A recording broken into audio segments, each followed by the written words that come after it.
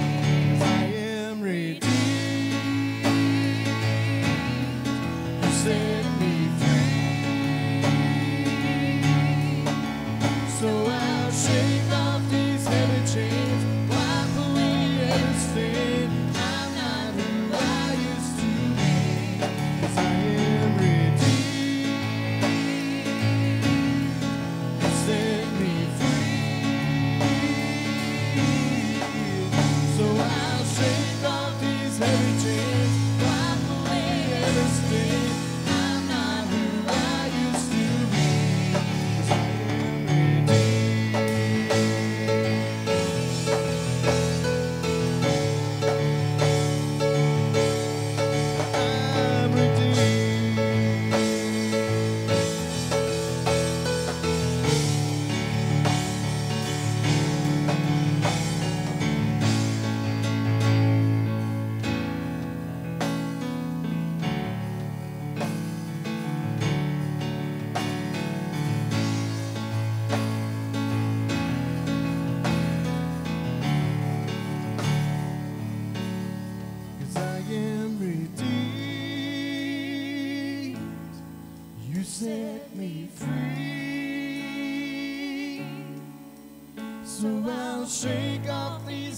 chains, wipe away every stain. I'm not who I used to be. Come on, let your voice. I am redeemed. You set me free.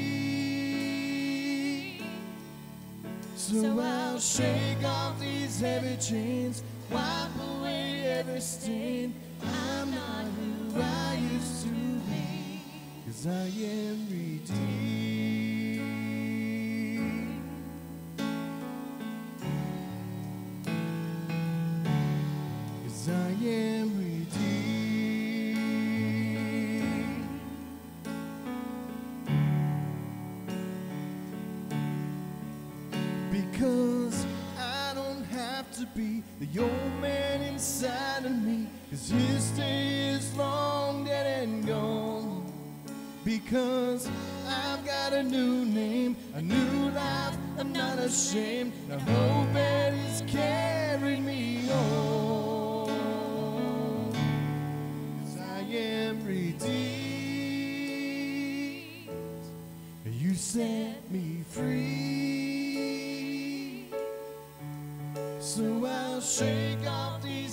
chains. Wipe away every stain.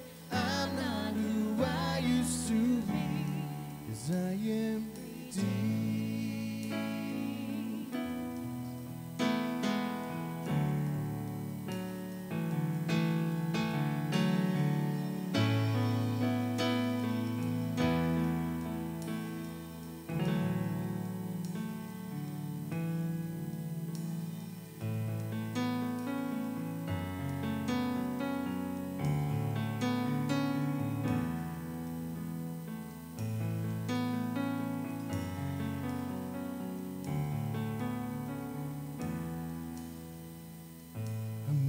amazing grace, how sweet the sound, amazing love, now flowing down through hands and feet that were nailed to a tree. Your grace flows down and covers.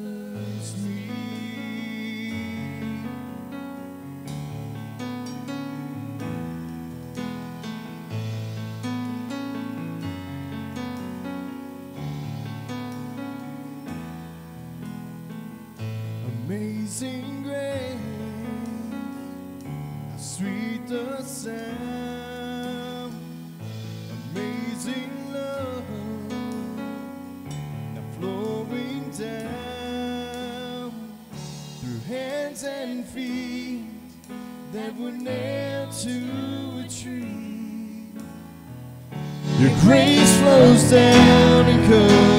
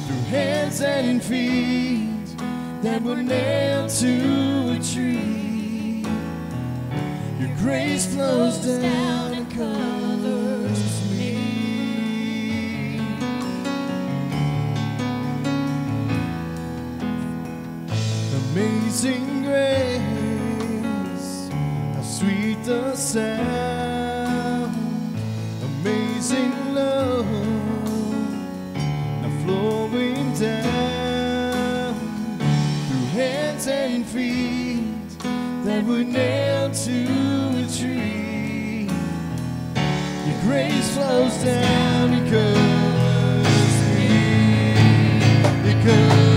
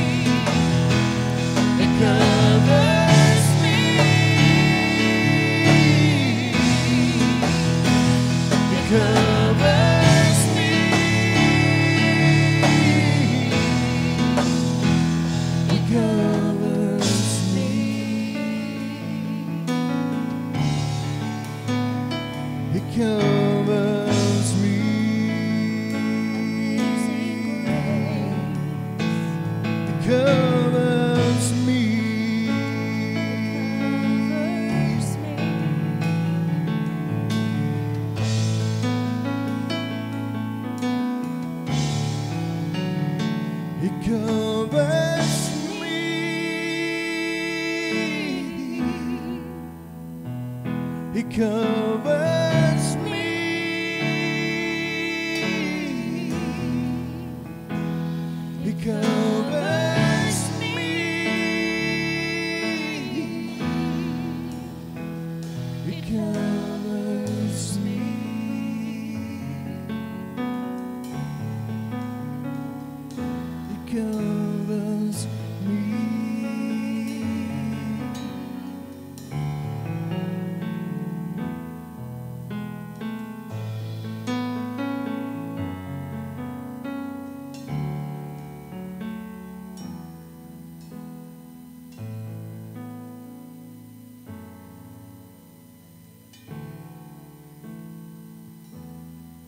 Much better. Thank you. Thank you. You know, this morning there's a scripture that's been going through my mind, and uh, it's the scripture that says, You shall know the truth, and the truth shall make you free. You know, with God, He is truth, and He shares His truth with us. And when we know and when we operate in that truth, it truly does set us free. There is a freedom in that. You know, last night, um, Pastor and I were invited over to Cynthia and James's house to play cards. And we played cards with them and with Madison and with Emily last night. Um, we played a game you all might be familiar with. Um, we won't say the exact name of the game um, in this setting, but you know, bull or bully or um, I don't think so. You know, something like that would kind of describe, you know, the other name for this card game that we played last night. And um, we had just a great time doing that. And after two or three rounds of that game, Emily said something so profound, and I don't think she even knows she said it at the time. But she said, Man, God doesn't lie, and He always comes out ahead. And I thought, out of the mouth of babes, God does not lie, and He always comes out ahead. That is such truth. Because you know what? It is that truth that we know that always brings us out ahead. Not just saying a lie, not just speaking the truth, but operating in that. You know, there's times in our life that it may look like, you know what? If I just say what God says or I just believe what God says, I see a shortcut to get where I want to go. But you know what? If you just stick with God's truth, you always come out ahead in the long run. Always, every single time, we come out ahead. You shall know the truth, the truth shall make you free. There's things in our lives that we all deal with, challenges that come up from day to day, pains that come in our body, and pinches that come into our pocketbook, and strains that come to relationships that we have.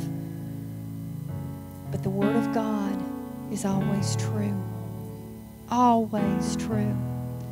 And if we stand and we operate in that truth of God, in the end, we always come out ahead. Always. If your body's hurting today, don't give in to what the body's saying. Give in and stand with what God says that by Jesus' stripes you are healed. And the more we stand and we believe and we declare that, and we thank our Father daily for that healing to manifest in our bodies, it will come to pass. Sometimes it takes a little while, but you know what? Sometimes it took a little while for our body to get in the shape it got in, too. And sometimes God heals instantly, and sometimes He heals through the process of time. The same way with our pocketbooks and with our finances. Sometimes God will lay it on somebody's heart, and, buddy, God will pull you out of it in an instant. But sometimes we walk out of it progressively. But I promise, if we stand on God's truth and keep walking in what He says, we do come out of it. God does not lie, but He always comes out ahead in the end. And it's the same with us. We stand in that truth and we always come out ahead in the end. Amen? Amen. If you believe that, say amen this morning. Our God is so good. So, so thankful for the goodness that He brings into our lives. Let's just thank Him this morning. I just feel like we just need to bless Him for a minute. Father, we thank you and we honor you and we bless you today. Your grace truly is amazing.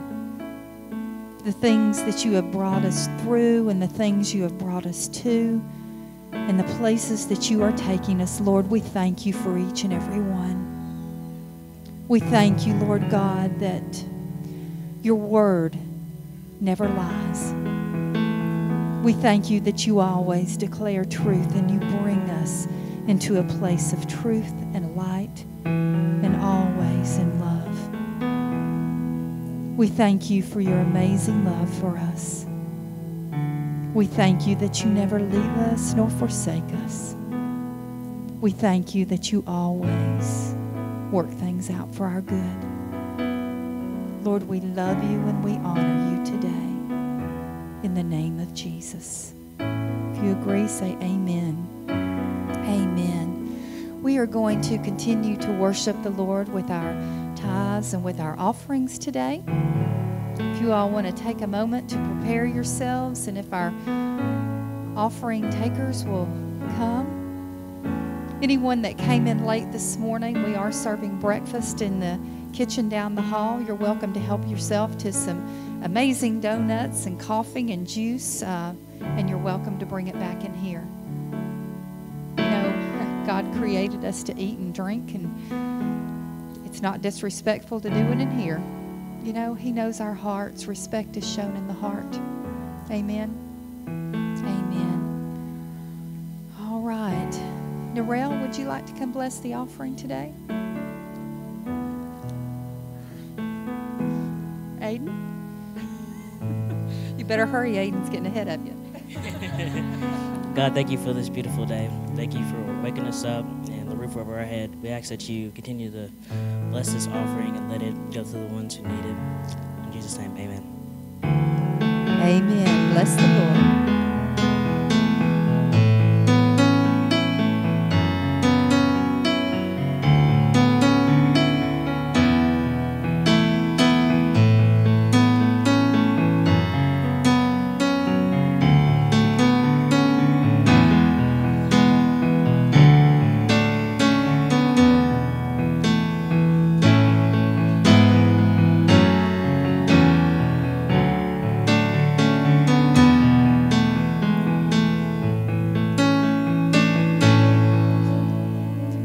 Most committed offering takers in the world. They look forward to this every Sunday. and the most interesting process, isn't it? give, uh, give them a big hand. Thank you, Aiden. Thank you, Bree. Thank you, Zoe. this morning, we have um, someone in our fellowship that wants to share with you the good things that God has done in his life. And this story, Pastor and I have heard it, and it is absolutely amazing and what God can do in someone's life in one year. You know, Pastor and I have experienced that too. We feel like that um, we got taken from the pit to the palace within a year. And you know, God is no respecter of persons. What He will do for one, He will do for all. So if things aren't where you want it to be today, just hang on and hang with Him. It will change. Amen. Amen. Jonathan, would you like to come share this morning? Give him a big hand as he comes. All right. Uh, about seven years ago, I lost my job at Starbucks. Uh, I was making pretty good money and living large, having fun. Uh, I was in college. Uh, when I lost my job, I had to make a decision uh, finish school, have an apartment, or try to find another, another job or quit school. So I decided to stay in school. I sold everything I had my washer, my dryer, my TV, uh, my dresser and stuff. I shipped back to my parents' house. They had no clue what I was doing. Um, then I eventually found some friends. I stayed with them. Um, it ended up not being a good thing, so I started staying out of my car, and things came past, and things got better, and I finally found some of my friends in Cookeville. Stayed with them behind a couch for probably a year. Uh, then everything was going good. Finished, graduated college, uh, which thank God. Everyone in my family didn't think it was possible. Either did I. uh, then I got uh, a good job with uh, an, mar- uh, not manufa- a manufacturing company in Cookeville, Tennessee. Uh, I wasn't making what I need to make to pay my student loans and to live on, so I found a job at a hotel and I was working there as well. Um, I eventually realized that uh, when Taylor finally moved back to Knoxville, I was actually crashing with her because I couldn't afford to live there. Um, then the hotel blessed me with a place to live, so I stayed there. Um, after a while, the guy next to me started partying too much. That ended. and then I had to make a decision. I uh, decided to live out of my car for six months. I put everything in my car. I would go to the gym every morning, shower, wake up every morning, go to work, work all night, through the night with the hotel, get up, shower, do it all over again. Um, but it was probably the most rewarding experience of my life living out of my car. You never know, but waking up every morning, I was probably in a lot better shape back then. but God really blessed me through everything that's went on with living in my car. I just felt more at peace.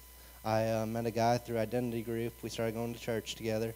Um, and with him, I started reading the Bible a little bit. Don't ask me to quote anything out of it. um, and we started going through verses in the Bible. We went through a Dave Ramsey training thing. I don't agree with everything he says, but he is pretty ingenious about the way he mixes worship with uh, paying off debt, which is very important. Um, then everything was going well, and I decided I'd start applying for jobs. Um, you can pray all day long for change. It's not going to change if you're not willing to act on it. And so many people I watch, they won't act on things they truly want. It kills me inside. But I pray about it all the time. Um, I'm not much.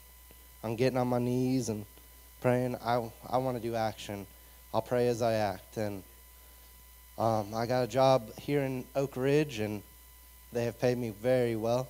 Um, my goal was to be from homeless to homeowner in a year. Uh, I was just a month shy of that. So, in a year, technically, uh, I went from homeless to homeowner. And every day I look out my window and there's some deers. I'm going to the bathroom and I'm like, oh, this is great. and I had Tammy and uh, Justin come over and bless the home. And um, it's really a blessing to be in the home. I moved my Bible that I kept in my car at all times and never left it uh, to the house when I moved in. And every time I look at it, I just kind of laugh and look at the house I used to live parked next to the road and then the house I'm sitting in where I'm warm and I really praise the Lord and I wanted everyone here to know no matter what happens to you living in a car it's not bad. Don't ever do it if you can avoid it.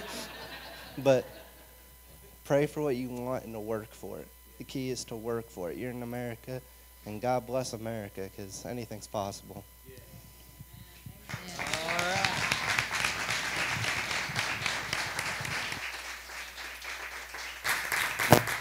Yeah. From homeless to a homeowner in one year. Lived in his car and uh, never had a bad attitude. Actually, was uh, appreciative that he was able to live in a car.